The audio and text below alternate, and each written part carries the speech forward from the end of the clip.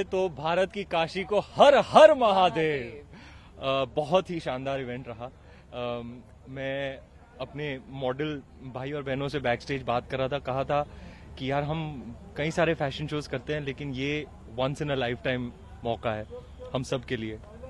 मुंबई के किसी five star के बैंकुट से अच्छा यहाँ आकर गंगा किनारे अम, ये शोकेस प्रेजेंट करना जो विश्व प्रसिद्ध मनीष मल्होत्रा साहब ने इतनी मेहनत से क्रिएट किया है सबसे बड़ी बात तो ये है कि ये शोकेस करता है हमारे बुनकर समाज की कारीगरी को इनकी कला ऐसी है कि पूरे भारत को उनकी कलाकारी पर गर्व है और we deeply appreciate everything Sri Narendra Modi has done to protect and promote the Bunkar community. And I think today will be an instance, you know, we did the, um, we went to the temple और uh, जिस तरह की energy थी जिस तरह की vibration frequency I don't think this is a day और an evening that I will ever ever forget आपको क्या लगता है पिछले बार भारतीयता को एक बहुत अहमियत मिली है और क्या हम आज उस सबको प्राइड की तरह एंजॉय करते हैं? बिल्कुल मैम हम काशी एज एन एग्जांपल आप ले लो दस साल पहले ये सब नहीं था। जिस प्रयास से मोदी जी ने यहाँ पर बदलाव लेकर आए हैं, सुधार लेकर आए हैं।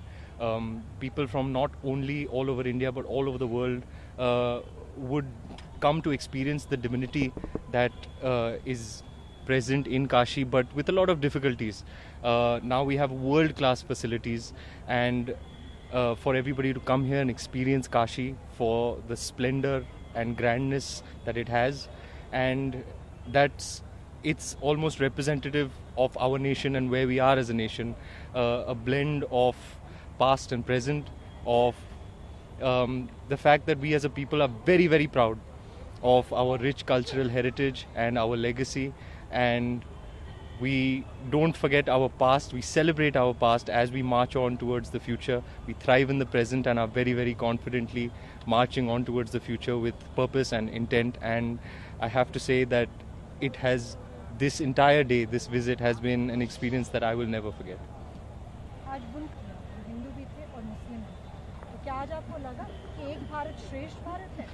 तो मुझे इतना अच्छा लगा उनसे मिलकर।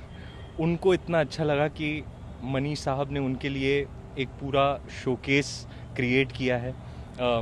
जिस तरीके से हमारे बुनकर भाई ने आकर स्टेज पर बयां किया कि ये it is the bunkar community is constituted by both Hindus and Muslims, and that's why it is so significantly representative of our great and secular nation.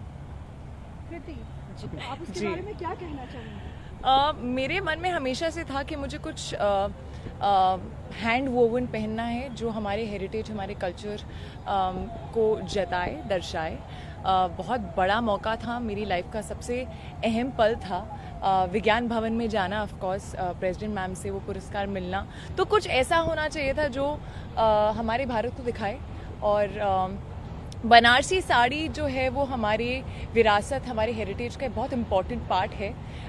तो मनीष ने ही वो बनारसी साड़ी डिज़ाइन की थी और आज इस शो पर, बनारस में, काशी में ये आउटफिट पहनना जो मुझे लगता है कि एक ब्राइडल आउटफिट है, जिस पर कोई एम्ब्रॉयडरी नहीं है, सब हाथ से किया हुआ, बुना हुआ काम है। बनारसी साड़ी और हमारी हेरिटेज जो हमारी बुनकर कम्युनिटी है, जो समाज है, जो वो बुनते हैं, एक एक कपड़ा जो है, उसे कितने दिन लगते हैं कितने प्यार से, खाली पैसे के लिए नहीं, दिल से किया जाता है ये काम। और सबसे खास बात होती है कि वो एक ही पीस होता है। उस पीस के जैसा और कोई नहीं है। मशीन से हम बहुत कुछ कर सकते हैं। तो ये एक्चुअल हमारी हेरिटेज है हमारा कल्चर है जो मुझे लगता है कि भारत के बाहर पूरी दुनिया में दिखना चाहिए। And I am really really honoured and glad कि मैं आज इस uh, इस मौके का एक हिस्सा बन पाई। इस इनिशिएटिव का जो विकास भी विरासत भी uh, विकास भी विरासत भी आई थिंक काशी बहुत ही अच्छा एग्ज़ाम्पल है इस, इस अ, प्रयास के लिए क्योंकि काशी एक ऐसी सिटी है जो जिसमें इतना विकास हुआ है पिछले दस सालों में श्री नरेंद्र जी की कॉन्स्टिट्यूंसी में इतना ज़्यादा विकास हुआ है चाहे वो कनेक्टिविटी हो चाहे वो रीडेवलपमेंट हो चाहे कितने नए सारे धाम आए हैं कितने नए घाट्स आए हैं। रेनोवेशन रेनोवेशन हुआ है कॉरिडोर का पर उसके साथ साथ जो अ, जो फीलिंग आती है काशी में जो अंदर से जो फीलिंग आती है ना दिल काशी का वही है।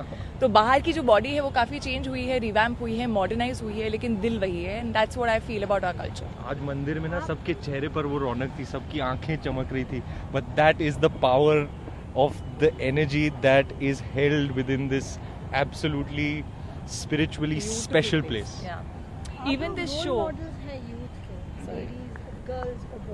जी। We are the youngest nation in the world या आप क्या मैसेज देना चाहेंगी उन सबको और रणवीर आप उन सबको जो आपको दे लुक फॉरवर्ड टू यू और उन्हें क्या मैसेज देना चाहेंगे कि हमें अपने विरासत को संभाल के रखना है और किस तरीके से um, मैं भारत के हर युवा को ये बताना चाहता हूँ कि it is very important to take pride in the rich cultural heritage of our great nation as I said, we are we celebrate our past and our roots.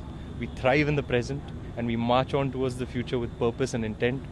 Of course, ये जो महीना चल रहा है it's a very significant month तो मैं सारे युवाओं को अपील करना चाहूँगा कि do not lose sight of your responsibility आप इस भारतवर्ष का आज हैं और कल हैं um, तो be take cognizance of the responsibility that lies with you and certainly go out and vote.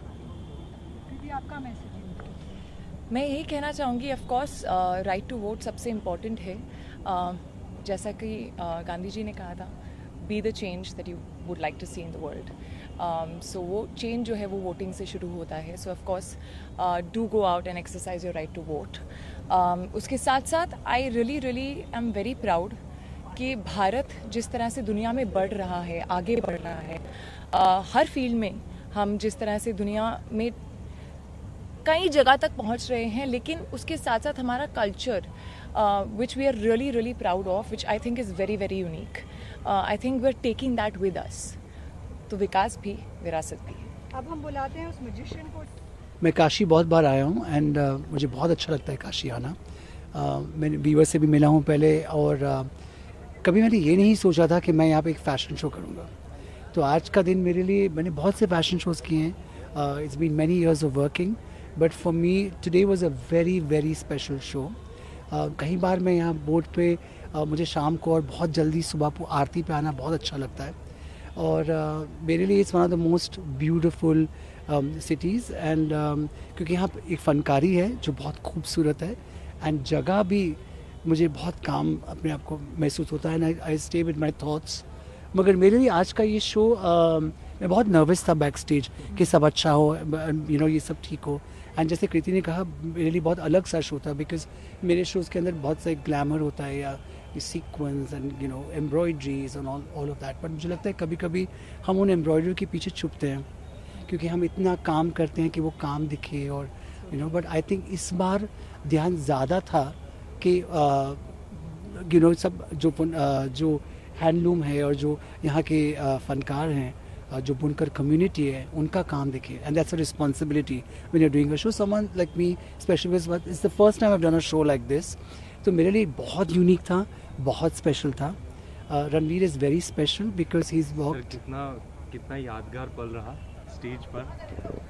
बुनकर समाज के हिंदू भाई मुस्लिम भाई एक साथ खड़े रह के हाथ में हाथ डाल के अपनी कारीगरी को सेलिब्रेट करें। लोग जैसे कि मैंने कहा आज की शाम बुनकर समाज के नाम। Today was all about them everybody was here to support and Manish तो आप प्लेज करते हैं कि आप इस कला को पूरी दुनिया तक लेकर जाएँगे बिल्कुल। और इस कला को एक नया रूप देंगे? बिल्कुल जैसा है लोकल फॉर ग्लोबल मैंने हमेशा ये करने की कोशिश की है मैं और भी इसे करूँगा। खास करके जैसे कि ये मेरा काम है जिससे मैं बहुत बहुत प्यार करता हूँ।